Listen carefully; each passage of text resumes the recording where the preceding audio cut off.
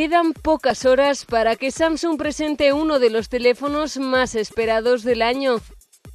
Tras el polémico Note 7, los surcoreanos vuelven al mercado de los smartphones pisando fuerte y con ganas de que su Samsung Galaxy S8 triunfe.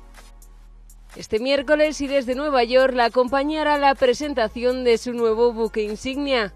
¿Pero qué sabemos de él?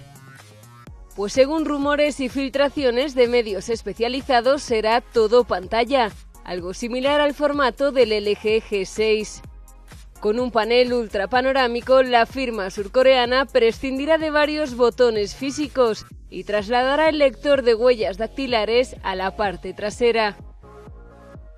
En cuanto a los procesadores, el Snapdragon 835 y el Exynos 8895 intentarán que el nuevo Samsung sea uno de los teléfonos más potentes del mundo.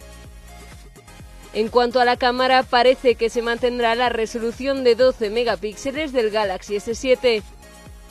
Aunque queda poco espacio para las sorpresas, habrá que esperar hasta las 5 de este miércoles para que Samsung confirme de manera oficial cómo será el esperado Samsung Galaxy S8.